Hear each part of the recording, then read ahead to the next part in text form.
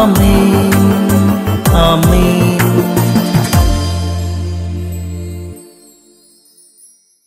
യേശുവിന്റെ ഏറ്റവും പ്രിയപ്പെട്ട കുഞ്ഞെ അതിമനോഹരമായ ദൈവിക ദൂത് ദൈവം നമുക്ക് ദാനിയേലിന്റെ പുസ്തകത്തിലൂടെ നൽകുകയാണ്.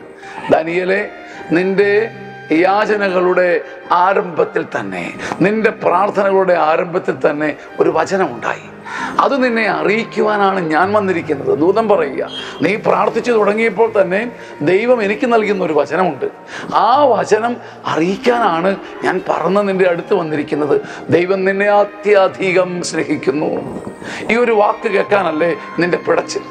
എന്റെ ജീവിതത്തിന്റെ പിടച്ചിലുകൾ കാച്ചിക്കുറുക്കിയെടുത്താൽ സ്നേഹത്തിന് വേണ്ടിയുള്ള കൊതിയാണ്.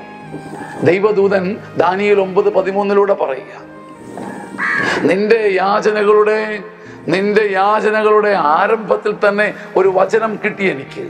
അത് നിന്നെ അറിയിക്കാനാണ് ഞാൻ വന്നിരിക്കുന്നത്. ആ വചനം ഇത് മാത്രമാണ്. ദൈവം നിന്നെ അത്യധികം സ്നേഹിക്കുന്നു. ഈ വചനം കേട്ടിട്ട് ദർശനം ഗ്രഹിച്ചു കൊള്ളുക. ഈ വചനം കേട്ടിട്ട് നീ നടന്നു കൊള്ളുക. ഈ വചനം കേട്ടിട്ട് ഇന്നത്തെ ജോലി എടുത്തുകൊള്ളുക ദൈവം നിന്നെ അത്യധികം സ്നേഹിക്കുന്നു.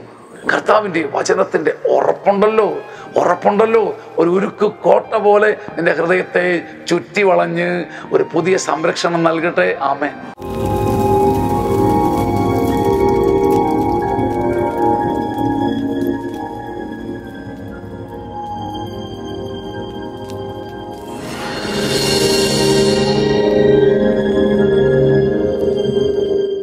Amen.